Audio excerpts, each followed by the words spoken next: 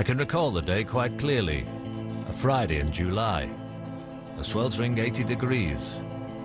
Martin Jarvis was completing his week in Dictionary Corner. He'd been reassuringly average. Somewhere in the Shires, surgeons had entered the mind of Mr. Stinchcombe and found black apes gibbering on dark lawns. I'd spent the afternoon becoming increasingly frustrated with the grooming agitator on my Lime Dyson. I was due in Parbold at 7.15 and wasn't going to make it. Telephoning the person who needed to know this, I found myself caught up on a crossed line, something I'd not experienced for years. I listened in with quiet delight. It appeared that someone called Bill, whilst out walking the bounds that morning, had looked into Top Acre and been horrified to see the almost visible ribcage of a foal which belonged to the Stragglehurt girl from Keeper's Cottage, whose name, if this was a Helen Fielding novel, would be something like Martha Flanagan. But the countryside is never as romantic as townsfolk believe it to be, and the girl's name was Karen Henderson. On closer inspection of the poor emaciated beast, it was agreed that a visit upon the child's father was in order. Not a mission to relish, apparently, as the man in question was affected by a strange disquiet which gnawed away at his faith. And it was rumoured his days were spent sucking on the bleached bones of his dead mates whilst writing songs for the hospice. One of which goes like this.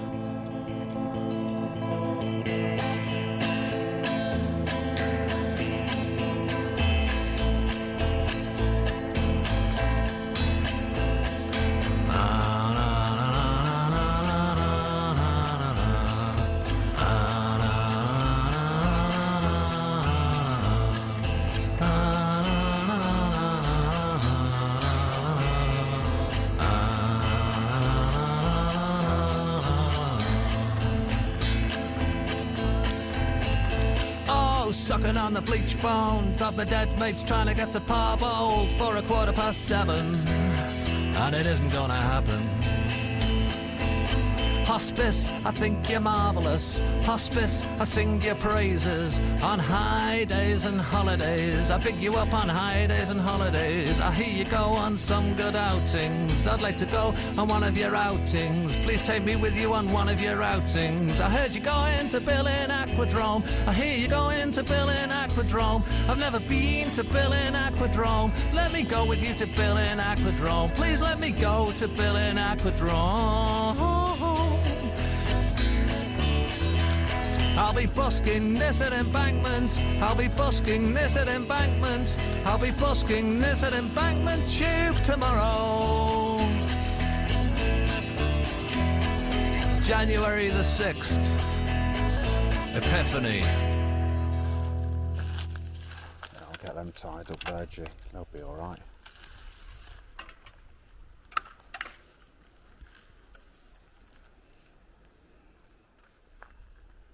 Don't think we need to worry about how to get in. I don't even think they got round to putting most of the windows in. Alright, well the fence was down here, G, so um, makes sense to go this way.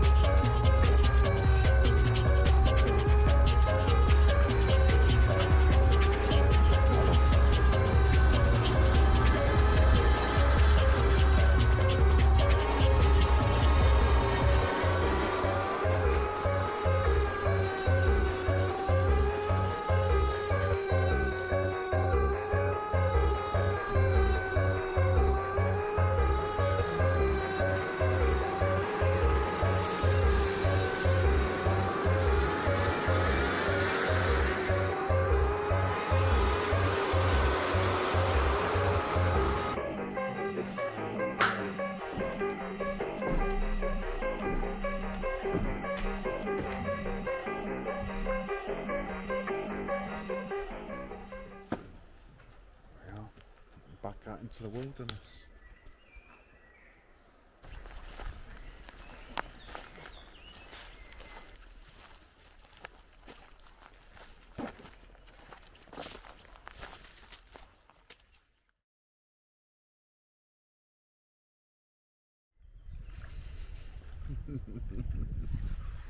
That's the thumbnail, that boat race.